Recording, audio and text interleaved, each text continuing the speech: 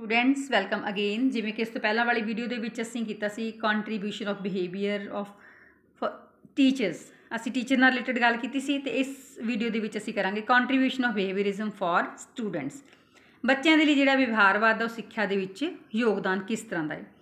ਸਭ ਤੋਂ ਪਹਿਲਾਂ ਹੈ ਆਸਕ ਫਾਰ ਫੀਡਬੈਕ ਫੀਡਬੈਕ ਦੇਣੀ. ਇਸ ਥਿਊਰੀ ਦੇ ਅਕੋਰਡਿੰਗ ਜਿਹੜੀ ਫੀਡਬੈਕ ਹੈ ਉਹ ਬੱਚਿਆਂ ਦੇ ਵਿੱਚ ਪੁਨਰਬਲਨ ਦੇ ਲਈ ਰੀਇਨਫੋਰਸਮੈਂਟ ਦੇ ਲਈ ਇੱਕ ਜਿਹੜਾ ਇੰਪੋਰਟੈਂਟ ਰੋਲ ਉਹ ਪਲੇ ਕਰਦੀ ਹੈ। ਤੇ ਇਸ ਥਿਊਰੀ ਦੇ ਅਕੋਰਡਿੰਗ ਜਿਹੜੇ ਬੱਚੇ ਨੇ, ਆਪਣੇ ਦੁਆਰਾ ਕੀਤੇ ਕੰਮ ਦੇ ਜਿਹੜੇ ਰਿਜ਼ਲਟਸ ਨੇ, ਉਹ ਖੁਦ ਪੁੱਛਦੇ ਆ ਟੀਚਰ ਨੂੰ ਕਿ ਮੈਮ ਜਾਂ ਸਰ ਸਾਡਾ ਜਿਹੜਾ ਕੰਮ ਸੀ, ਉਹ ਤੁਹਾਨੂੰ ਕਿਸ ਤਰ੍ਹਾਂ ਦਾ ਲੱਗਿਆ?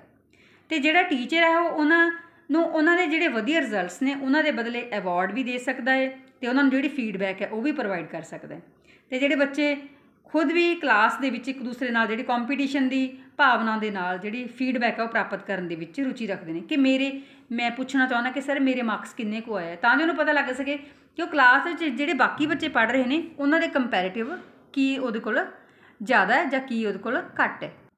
ਐਮਫੈਸਿਸ ਔਨ ਪ੍ਰੈਕਟਿਸ ਅਭਿਆਸ ਤੇ ਜ਼ੋਰ। ਹੁਣ ਇਸ ਥਿਊਰੀ ਦੇ ਵਿੱਚ ਇਹ ਦੱਸਿਆ ਗਿਆ ਕਿ ਬੱਚੇ ਦੇ ਬਿਹੇਵੀਅਰ ਦੇ ਵਿੱਚ ਚੇਂਜਸ ਲੈ ਕੇ ਆਉਣ ਦੇ ਲਈ ਜੋ ਕੋਈ ਵੀ ਕੰਮ ਹੈ, ਉਸ ਨੂੰ ਬਾਰ-ਬਾਰ ਅਸੀਂ ਨੇ ਰਿਪੀਟ ਕਰਾਉਣਾ ਉਹਦੀ ਪ੍ਰੈਕਟਿਸ ਕਰਾਉਣੀ ਹੈ। ਤੇ ਜਦੋਂ ਬੱਚਾ ਖੁਦ ਇਸ ਥਿਊਰੀ ਦੇ ਅਕੋਰਡਿੰਗ ਨੌਲੇਜ ਪ੍ਰਾਪਤ ਕਰਨ ਦੇ ਲਈ ਨੌਲੇਜ ਗੇਨ ਕਰਨ ਦੇ ਲਈ ਪਾਠ ਨੂੰ ਵਾਰ ਵਾਰ ਉਹਦੀ ਪ੍ਰੈਕਟਿਸ ਕਰਦਾ ਹੈ, ਤਾਂ ਉਹ ਜਿਹੜਾ ਉਹਦਾ ਗਿਆਨ ਹੈ ਉਹ ਪਰਮਾਨੈਂਟ ਹੋ ਜਾਂਦਾ ਹੈ। ਨੈਕਸਟ ਹੈ ਮੋਰ ਐਕਟਿਵ ਹੁਣ ਇਸ ਥਿਊਰੀ ਦੇ ਅਕੋਰਡਿੰਗ ਜਿਹੜਾ ਬੱਚਾ ਹੈ, ਖੁਦ ਵਾਤਾਵਰਣ ਦੇ ਵੱਖ-ਵੱਖ ਜਿਹੜੇ ਸਟਿਮੂਲਸ ਉਹਨੂੰ ਦਿੱਤੇ ਜਾਂਦੇ ਨੇ, ਉਹਦੇ ਅਕੋਰਡਿੰਗ ਆਪਣੇ ਬਿਹੇਵੀਅਰ ਦੇ ਵਿੱਚ ਚੇਂਜ ਲੈ ਕੇ ਆਉਂਦਾ ਹੈ। ਇਸ ਤਰ੍ਹਾਂ ਜਿਹੜਾ ਬੱਚਾ ਹੈ, ਜਮਾਤ ਦੇ ਵਿੱਚ ਖੁਦ ਜਿਹੜੀਆਂ ਐਕਟੀਵਿਟੀਜ਼ ਨੇ, ਭਾਵੇਂ ਅਧਿਆਪਕ ਕਰਾ ਰਿਹਾ ਹੈ ਜਾਂ ਕੋਈ ਪਾਠ ਸਹਾਇਕ ਸਮੱਗਰੀ ਦੀ ਵਰਤੋਂ ਕੀਤੀ ਜਾ ਰਹੀ ਹੈ, ਤਾਂ ਉਹਦੇ ਉੱਪਰ ਜ਼ਿਆਦਾ ਜ਼ੋਰ ਦਿੰਦਾ ਹੈ ਬੱਚਾ। ਐਕਟਿਵਲੀ ਪਾਰਟਿਸਿਪੇਟ ਕਰਦਾ ਹੈ, ਦੇਖਦਾ ਕਿ ਮੈਨੂੰ ਕੀ ਕੰਮ ਕਰਨ ਦੇ ਲਈ ਕਿਵੇਂ ਦਿੱਤਾ ਗਿਆ, ਮੈਂ ਇਹਨੂੰ ਕਿਸ ਤਰੀਕੇ ਨਾਲ ਕੰਪਲੀਟ ਕਰਨਾ ਹੈ। ਨੈਕਸਟ ਹੈ ਰਿਸਪੌਂਡ ਟੂ ਰੀਇਨਫੋਰਸਮੈਂਟ ਪੁਨਰਬਲ ਨੂੰ ਪ੍ਰਤੀਕਿਰਿਆ।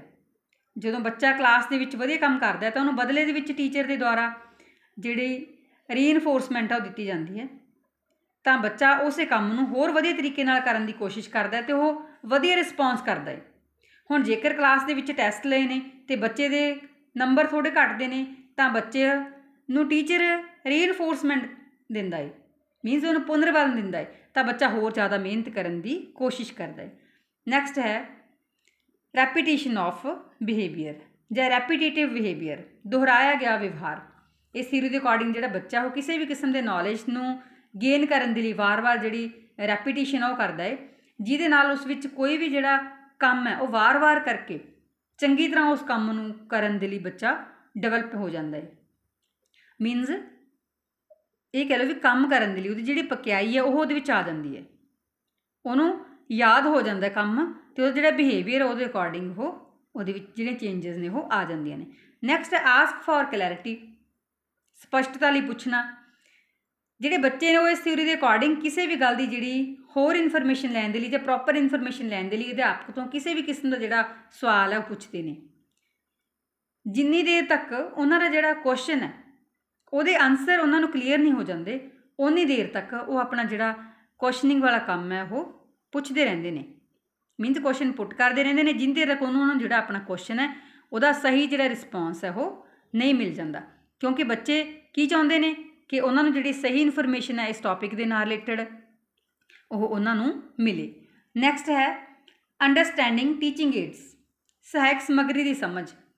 ਇਹਦੇ ਅਕੋਰਡਿੰਗ ਜਿਹੜਾ ਅਧਿਆਪਕ ਹੈ, ਜਦੋਂ ਜਮਾਤ ਦੇ ਵਿੱਚ ਕੰਟੈਂਟ ਦੇ ਨਾਲ ਵਿਸ਼ਾ ਵਸਤੂ ਦੇ ਨਾਲ ਸੰਬੰਧਿਤ ਕੋਈ ਵੀ ਜਿਹੜਾ ਟੀਚਿੰਗ ਏਡ ਯੂਜ਼ ਕਰਦਾ ਹੈ, ਤੇ ਬੱਚੇ ਇਹਦੇ ਉੱਪਰ ਆਪਣੀ ਸਮਝ ਦੇ ਨਾਲ ਸਿੱਖਦੇ ਨੇ। ਮੀਨਸ ਅਧਿਆਪਕ ਐਕਸਪਲੇਨ ਕਰ ਰਿਹਾ ਜਿਵੇਂ ਕਿ ਅਸੀਂ ਟੌਪਿਕ ਲਿਆ ਨਾਉਨ ਐਂਡ ਇਟਸ ਟਾਈਪਸ ਤਾਂ ਅਧਿਆਪਕ ਜੋ ਟੀਚਿੰਗ ਏਡ ਯੂਜ਼ ਕਰ ਰਿਹਾ ਹੈ ਨਾਉਨ ਦੀਆਂ ਟਾਈਪਸ ਨੂੰ ਸਮਝਾਉਣ ਦੇ ਲਈ, ਤਾਂ ਬੱਚੇ ਉਹਦੇ ਉੱਪਰ ਆਪਣੀ ਜਿਹੜੀ ਸਮਝ ਆ ਉਹਨੂੰ ਹੌਲੀ-ਹੌਲੀ ਮਜ਼ਬੂਤ ਕਰਦੇ ਨੇ। ਤੇ ਇਹਦੇ ਅਕੋਰਡਿੰਗ ਹੀ ਉਹ ਜਿਹੜੀ ਟੀਚਿੰਗ ਏਡ ਨੇ, ਉਹਦੇ ਬਾਰੇ ਉਹ ਜਾਣੂ ਹੁੰਦੇ ਨੇ ਤੇ ਇਹ ਸਮਝ ਦੇ ਪ੍ਰਤੀ ਜਿਹੜਾ ਆਪਣਾ ਇੰਟਰਸਟ ਆ ਉਹ ਵੀ ਦਿਖਾਉਂਦੇ ਨੇ। ਜਦੋਂ ਟੀਚਿੰਗ ਏਡ ਦੀ ਵਰਤੋਂ ਕਰਦੇ ਹੋਏ ਅਧਿਆਪਕ, ਤਾਂ ਬੱਚੇ ਉੱਥੇ ਆਪਣਾ ਜਿਹੜਾ ਅੰਡਰਸਟੈਂਡਿੰਗ ਲੈਵਲ ਆ ਉਹਨੂੰ ਮੇਨਟੇਨ ਕਰਦੇ ਨੇ। ਤੇ ਇਹਦੇ ਨਾਲ ਬੱਚੇ ਪਰਮਾਨੈਂਟਲੀ ਉਸ ਚੀਜ਼ ਨੂੰ ਸਿੱਖ ਲੈਂਦੇ ਨੇ। ਇਸ ਕਰਕੇ ਦੇਖੋ ਅਸੀਂ ਕਹਿੰਦੇ ਹੁੰਦੇ ਆ ਕਿ ਬੱਚੇ ਨੂੰ ਅਸੀਂ ਕਿਵੇਂ ਸਿਖਾ ਸਕਦੇ ਹਾਂ ਟੀਚਿੰਗ ਏਡ ਦੀ ਹੈਲਪ ਦੇ ਨਾਲ? ਕਿਉਂਕਿ ਸਾਰੀ ਚੀਜ਼ਾਂ ਅਸੀਂ ਓਰੀਜਨਲੀ ਬੱਚਿਆਂ ਨੂੰ ਦਿਖਾ ਨਹੀਂ ਸਕਦੇ। ਹੁਣ ਤਾਜ ਮਹਿਲ, ਕੀ ਅਸੀਂ ਤਾਜ ਮਹਿਲ ਦਿਖਾਉਣ ਦੇ ਲਈ ਬੱਚਿਆਂ ਨੂੰ ਲੈ ਜਾਵਾਂਗੇ? ਨਹੀਂ। ਤਾਂ ਅਸੀਂ ਉਹਦੇ ਇੱਕ ਛੋਟੇ ਮਾਡਲ ਦੇ ਰੂਪ ਦੇ ਵਿੱਚ ਐਜ ਅ ਟੀਚਿੰਗ ਏਡ ਜਦੋਂ ਅਸੀਂ ਉਹਨੂੰ ਦਿਖਾਵਾਂਗੇ, ਤਾਂ ਬੱਚੇ ਸਮਝ ਜਾਣਗੇ ਕਿ ਕਿ ਜਿਹੜਾ ਤਾਜ ਮਹਿਲ ਆ ਉਹ ਕਿਸ ਤਰ੍ਹਾਂ ਦਾ ਹੁੰਦਾ ਏ। ਨੈਕਸਟ ਹੈ ਪੈਸਿਵ ਰੋਲ ਹੁਣ ਇੱਥੇ ਭਾਵੇਂ ਬੱਚਾ ਮੋਰ ਐਕਟਿਵ ਮੀਨਸ ਜ਼ਿਆਦਾ ਐਕਟਿਵ ਰਹਿੰਦਾ ਬਟ ਉਹਦਾ ਜਿਹੜਾ ਰੋਲ ਆ ਪੈਸਿਵ ਹੁੰਦਾ ਹੈ ਕਿਉਂਕਿ ਜਿਹੜਾ ਰੋਲ ਐਕਟਿਵਲੀ ਪਲੇ ਕਰਨਾ ਹੁੰਦਾ ਉਹ ਟੀਚਰ ਕਰਦਾ ਹੈ ਤੇ ਬੱਚੇ ਪੈਸਿਵ ਹੁੰਦੇ। ਹੁਣ ਟੀਚਰ ਜਦੋਂ ਸਿਖਾ ਰਿਹਾ ਤਾਂ ਬੱਚੇ ਕੋਈ ਐਕਟੀਵਿਟੀ ਨਹੀਂ ਕਰ ਰਹੇ ਹੁੰਦੇ। ਤਾਂ ਉਸ ਟਾਈਮ ਟੀਮ ਜਿਹੜੇ ਬੱਚੇ ਨੇ ਉਹਨਾਂ ਦਾ ਰੋਲ ਕੀ ਹੋਏਗਾ? ਪੈਸਿਵ ਕਿਉਂਕਿ ਬਿਹੇਵੀਅਰ ਨੂੰ ਸ਼ੇਪ ਦੇਣਾ, ਬਦਲਣਾ ਟੀਚਰ ਦਾ ਕੰਮ ਹੈ। ਤੇ ਜਿਹੜਾ ਵਿਦਿਆਰਥੀ ਹੈ, ਉਹ ਜੋ ਅਧਿਆਪਕ ਨੂੰ ਦੱਸ ਰਿਹਾ ਹੈ, ਉਹੀ ਗ੍ਰਹਿਣ ਕਰ ਰਿਹਾ ਹੈ। ਤੇ ਇਹਦੇ ਵਿੱਚ ਜਿਹੜਾ ਅਧਿਆਪਕ ਹੈ, ਉਹਦੀ ਭੂਮਿਕਾ ਉੱਚੀ ਹੁੰਦੀ ਹੈ ਤੇ ਇਸ ਕਰਕੇ ਜਿਹੜਾ ਵਿਦਿਆਰਥੀ ਹੈ, ਉਹ ਇਹਦੇ ਵਿੱਚ ਪੈਸਿਵ ਹੁੰਦਾ ਹੈ। ਬਟ ਪਾਰਟਿਸਿਪੇਟ ਐਕਟਿਵਲੀ ਕਰਦਾ ਹੈ। ਕਿਉਂਕਿ ਜਦੋਂ ਉਹਨੂੰ ਕੋਈ ਐਕਟੀਵਿਟੀ ਦਿੱਤੀ ਜਾਂਦੀ ਹੈ ਕਰਨ ਦੇ ਲਈ, ਤਾਂ ਉਹ ਬੱਚਾ ਐਕਟਿਵਲੀ ਪਾਰਟਿਸਿਪੇਟ ਕਰਦਾ ਤਾਂ ਜੋ ਉਹਨੂੰ ਵਧੀਆ ਤਰੀਕੇ ਨਾਲ ਸਿੱਖ ਸਕੇ। The learner has to learn the subject matter ਹੁਣ ਇਹਦੇ ਵਿੱਚ ਕੀ ਹੈ ਵੀ ਜਿਹੜਾ ਬੱਚਾ ਹੈ ਲਰਨਰ ਹੈ, ਸਿਖਿਆਰਥੀ ਹੈ, ਉਹਨੇ ਕੀ ਕਰਨਾ ਹੁੰਦਾ ਹੈ? ਸਬਜੈਕਟ ਮੈਟਰ ਨੂੰ ਯਾਦ ਕਰਨਾ ਹੁੰਦਾ ਹੈ, ਸਿੱਖਣਾ ਹੁੰਦਾ ਹੈ। ਹੁਣ ਇਹਨੂੰ ਸਿਖਾਉਣ ਦੇ ਲਈ ਜਿਹੜਾ ਅਧਿਆਪਕ ਵੱਖ-ਵੱਖ ਟੈਕਨੀਕਸ ਯੂਜ਼ ਕਰਦਾ ਤਾਂ ਜੋ ਜਿਹੜੇ ਬੱਚੇ ਨੇ ਉਹਨਾਂ ਦੇ ਲੈਵਲ ਤੇ ਜਾ ਕੇ ਉਹਨਾਂ ਨੂੰ ਸਹੀ ਤਰੀਕੇ ਨਾਲ ਸਮਝਾਇਆ ਜਾ ਸਕੇ ਸਬਜੈਕਟ ਮੈਟਰ ਨੂੰ ਐਕਸਪਲੇਨ ਕੀਤਾ ਜਾ ਸਕੇ। ਬਟ ਇਹਦੇ ਵਿੱਚ ਬੱਚੇ ਦਾ ਕੋਈ ਰੋਲ ਨਹੀਂ ਹੁੰਦਾ। ਬੱਚੇ ਨੇ ਕੀ ਕਰਨਾ ਹੁੰਦਾ? ਸਿਰਫ ਸਿੱਖਣਾ ਹੁੰਦਾ ਹੈ ਅਧਿਆਪਕ ਨੇ ਹੀ ਵੱਖ-ਵੱਖ ਤਰ੍ਹਾਂ ਦੇ ਜਿਹੜੇ ਸਟ੍ਰੈਟੇਜੀਜ਼ ਨੇ ਉਹ ਪਲਾਨ ਕਰਨੀਆਂ ਹੁੰਦੀਆਂ ਨੇ। ਨੈਕਸਟ ਹੈ ਇੰਫੈਸਿਸ ਔਨ ਮਕੈਨੀਕਲ ਲਰਨਿੰਗ ਯੰਤਰ ਵਿਧੀ ਸਿੱਖਣ ਉੱਪਰ ਵਧੇਰੇ ਜ਼ੋਰ। ਹੁਣ ਕੰਟੈਂਟ ਨੂੰ ਸਿਖਾਉਣ ਦੇ ਲਈ ਜਿਹੜਾ ਅਧਿਆਪਕ ਹੈ ਉਹ ਜ਼ਿਆਦਾ ਜ਼ੋਰ ਦਿੰਦਾ ਹੈ ਕਿ ਬੱਚੇ ਨੂੰ ਇਹ ਯਾਦ ਹੋ ਜਾਵੇ। ਇਸ ਕਰਕੇ ਸਿੱਖਣ ਦੇ ਉੱਪਰ ਜਿਹੜੀ ਮਕੈਨੀਕਲ ਲਰਨਿੰਗ ਹੈ, ਯੰਤਰ ਵਿਧੀ ਨਾਲ ਸਿਖਾਉਣਾ, ਉਹਦੇ ਉੱਪਰ ਜ਼ਿਆਦਾ ਜ਼ੋਰ ਦਿੱਤਾ ਜਾਂਦਾ ਹੈ। ਜਿਸ ਨਾਲ ਜਿਹੜਾ ਵਿਦਿਆਰਥੀ ਆ, ਉਹ ਲੰਬਾ ਸਮਾਂ ਯਾਦ ਵੀ ਰੱਖ ਸਕਦਾ ਹੈ ਤੇ ਉਹਨੂੰ ਬਾਰ-ਬਾਰ ਰਿਪੀਟ ਵੀ ਕਰ ਸਕਦਾ ਹੈ ਤੇ ਇਹਨਾਂ ਜਿਹੜੇ ਵਿਦਿਆਰਥੀ ਨੇ, ਉਹ ਕਈ ਵਾਰ ਜਿਹੜੀ ਕ੍ਰੈਮਿੰਗ ਵੀ ਕਰਦੇ ਆ, ਤਾਂ ਜੋ ਸਹੀ ਤਰੀਕੇ ਨਾਲ ਉਹਨੂੰ ਪੇਪਰਾਂ ਤੱਕ ਯਾਦ ਰੱਖ ਸਕਣ ਬੱਚੇ। ਨੈਕਸਟ ਹੈ connections are important for learning ਹੁਣ ਜਿਹੜੇ ਕਨੈਕਸ਼ਨਸ ਨੇ ਮੀਨਸ ਸਬੰਧ ਨੇ, ਉਹ ਇੰਪੋਰਟੈਂਟ ਨੇ। ਸਿੱਖਣ ਦੇ ਲਈ ਕਿਹਦੇ ਵਿਚਕਾਰ ਕਨੈਕਸ਼ਨ ਵਿਦਿਆਰਥੀਆਂ ਤੇ ਅਧਿਆਪਕ ਦੇ ਵਿਚਕਾਰ। ਟੀਚਰ ਤੇ ਸਟੂਡੈਂਟ ਦੇ ਵਿਚਕਾਰ ਜਿਹੜੇ ਕਨੈਕਸ਼ਨਸ ਨੇ, ਉਹ ਬਹੁਤ ਇੰਪੋਰਟੈਂਟ ਨੇ।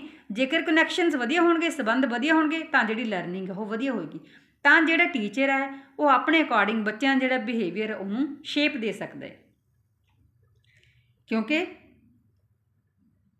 ਜਦੋਂ ਅਧਿਆਪਕ ਨੇ ਪੜਾਉਣਾ ਹੈ ਤਾਂ ਪਹਿਲਾਂ ਆਪਸ ਦੇ ਵਿੱਚ ਕਨੈਕਸ਼ਨ ਵਧੀਆ ਹੋਣਾ ਚਾਹੀਦਾ, ਫਿਰ ਜਦੋਂ ਜਿਹੜਾ ਸਬਜੈਕਟ ਮੈਟਰ ਪੜਾਇਆ ਜਾ ਰਿਹਾ ਹੈ ਉਹ ਦੂਸਰੇ ਨਾਲ ਕਨੈਕਟ ਕਰਕੇ ਪੜਾਉਣਾ ਹੈ ਜਿਵੇਂ ਕਿ ਅਸੀਂ ਕੋਈ ਇਸ ਤਰ੍ਹਾਂ ਦਾ ਮਾਤਰਾ ਸਿਖਾ ਰਹੇ ਹਾਂ ਬੱਚੇ ਨੂੰ, ਬੱਚੇ ਛੋਟੇ ਨੇ ਜਾਂ ਅਸੀਂ ਸਪੋਜ਼ ਕਰੋ ਵਚਨ ਬਦਲੋ, ਲਿੰਗ ਬਦਲੋ ਸਿਖਾ ਰਹੇ ਹਾਂ, ਤਾਂ ਅਸੀਂ ਇਸ ਤਰ੍ਹਾਂ ਦੇ ਐਗਜ਼ਾਮਪਲਸ ਦੇਣੀਆਂ ਨੇ ਜਿਹੜੀਆਂ ਕਿ ਬੱਚਿਆਂ ਦੇ ਨਾਲ ਕਨੈਕਟਡ ਹੋਣ।